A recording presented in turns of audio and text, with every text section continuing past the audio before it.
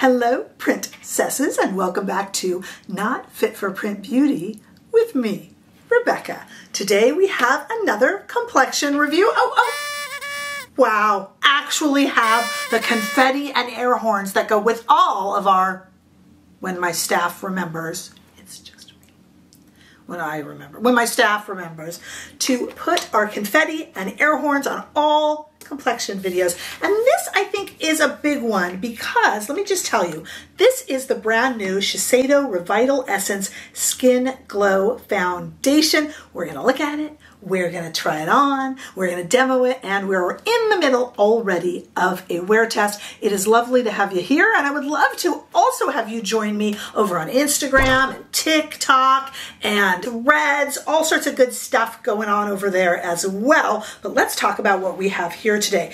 I have never tried a Shiseido complexion product that I hadn't haven't loved, they are a favorite. Among those of us who love our foundations, they are a favorite. I've never tried a bad one from them, all the way from light to light medium to slightly fuller cover. They do it all with grace. This is a beautiful and one so far, and we're going to talk about it. We are currently two hours into a wear test, and I'm going to, I, I have some other check-ins coming up and a much longer one at the end after the demo. Okay, let's talk about this Shiseido RevitalEssence Skin Glow Foundation. It is $56 and comes in 30 shades. You are seeing the shade I chose, which is 260 Cashmere, which I have worked with. I don't mind that it's brightening. It's a little bit too light. Why am I going too light on my foundation choices? lately. Somebody tell me. It is a serum foundation, or as Shiseido calls it, a serum-like foundation. They don't want to commit to it being a serum foundation.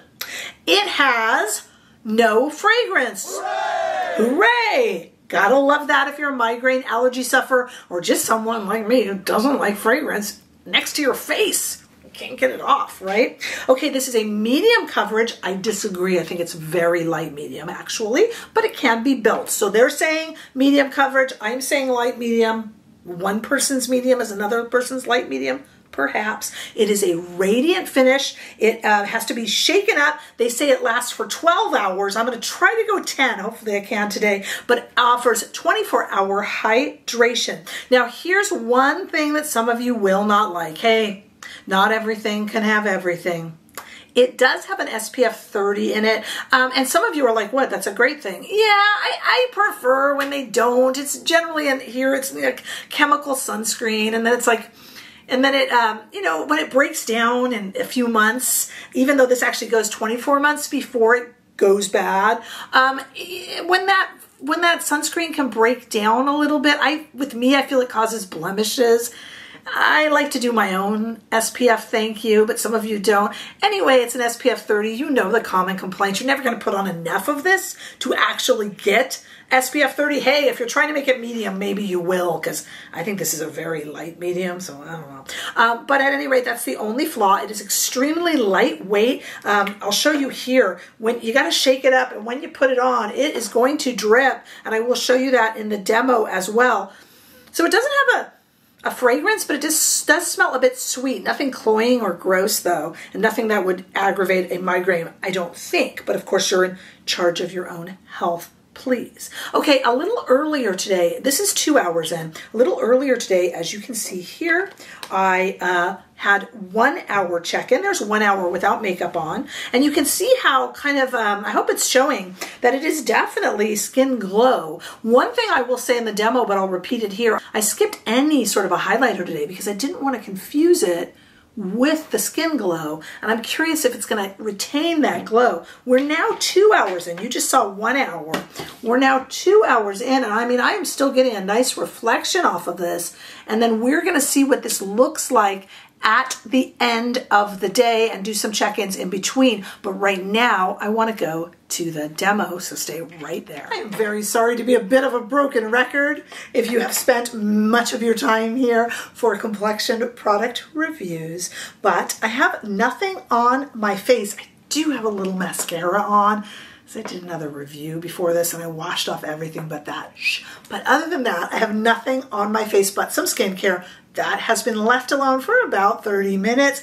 I am not going to wear primer, concealer, or setting spray or anything like that over this because we want to know what this foundation is going to do when left to chill out all day long. If there's anything wrong, any creasing, any sinking into pores or lines, I want to know what caused it, right? Okay, so we need to shake up this foundation. You've already been introduced to it, and we are, in fact, in the middle of a wear test that you already saw. And then after this, you'll see the end of the wear test with a photo or two along the way. Okay, I have now shaken it up nicely and I am putting it on to my hand. It is very viscous. This is the shade 260 Cashmere. Let's put it on one side of my face and see how I did.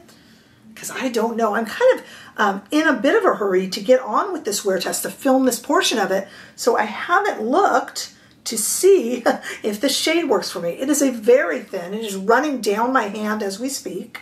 And a nice radiance, really nice, kind of akin to um, the MAC radiance so far. If I were to just take a stab at this without knowing much, there is the one side of my face as best I could do it. Very light coverage, but very pretty. I probably could have gone a bit deeper with the shade, but I don't think that's too bad. Let me compare it to my neck. What do you think? My hand. Can do a little voguing. All right, um, very nice, very comfy, very lightweight. Definitely would be buildable, but boy, is this lightweight, but super duper comfy and um, very pretty. Okay, where did I put it here? All right, I am gonna shake it up again and then do the other side of the face and I'll speed that up so I don't lose you. Such a hurry to get this wear test going.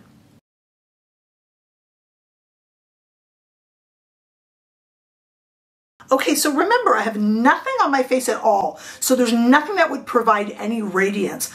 Any radiance that you see is belonging to solely to the foundation. And I kind of made a little decision while I was putting the rest of that on and had it all sped up. I kind of made a decision. I don't think I'm going to put on any highlighter. I think this is very glowy. And if I put on highlighter right now when I go to put on my makeup and do the rest of the wear test, I fear that it will be confused. Again, the same reason I don't want to um, powder and the same reason I don't want to put on um, concealer and that kind of thing, okay? Let me show you that the product I do have left on my hand is extremely runny. I love that super thin consistency in a foundation, but if you don't, I don't know if you'll like this. I do though.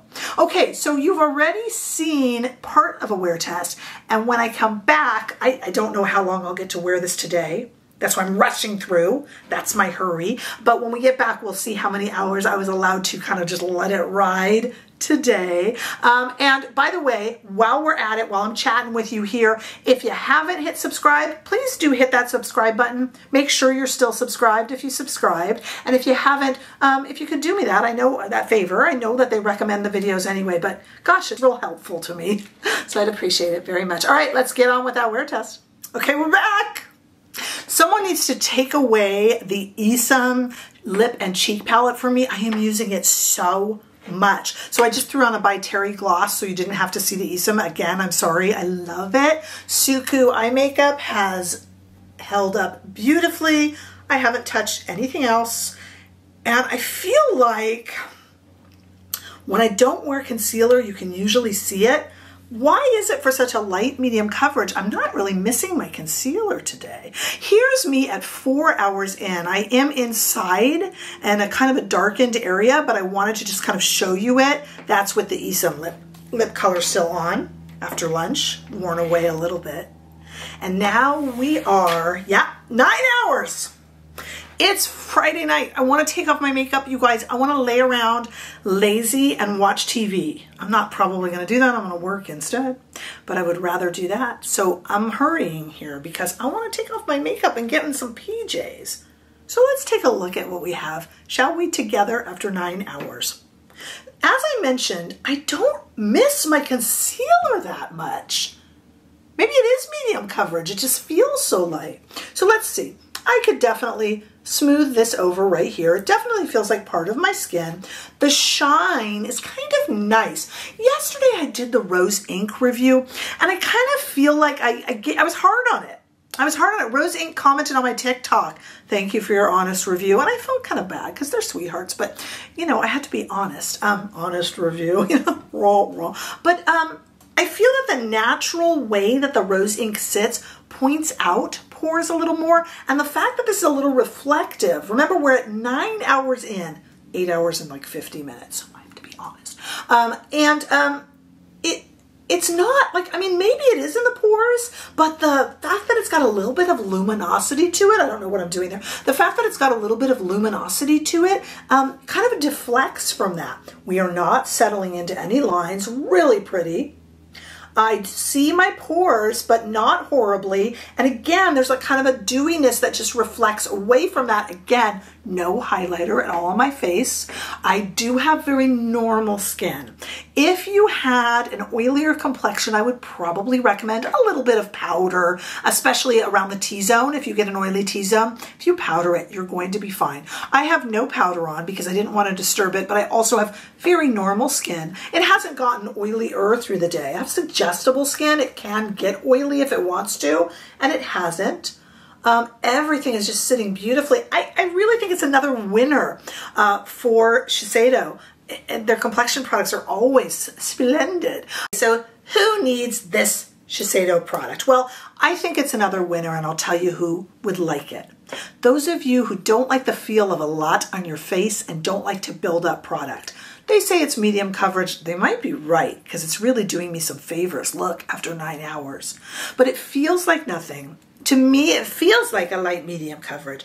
And as I said, I'm really surprised that I don't have to add any sort of concealer. I mean, I think on an average average day I would, but I don't really have to. I feel really put together. I did my makeup in like two minutes. This is the Shiseido. That's it. This is a little bit of that. I told you that Isom as blush and, um, well, no longer on the lips. I did this, one of my new Suqqu palettes gifted to me from a lovely subscriber um, on my eyes, a little bit of mascara, barely any eyeliner. Did my makeup in two minutes. I know I do that anyway, but you know. Um, and I'm totally put together and fresh. And the shade really probably isn't perfect. I mean, if you want to get out the door and you don't want to build up stuff and you want a medium coverage that feels like it's light medium, it feels like it's light and it's part of my skin. It's not transferring can be powdered easily but doesn't need to be. I'm going to give this a thumbs up for those of you who love light coverage. If you like a fuller coverage, you will be disappointed. If you tend towards serum foundations, you'll like this. I put this with the MAC. You know, there's a new MAC serum foundation that I love. This one is a little bit less dewy. Okay, so if you want a little bit little bit more natural than that MAC. Um, I think you'll love this. I think this foundation is very pretty on me, not sinking into lines. Maybe shows my pores, but it's deflecting off of them. It's another winner from Shiseido.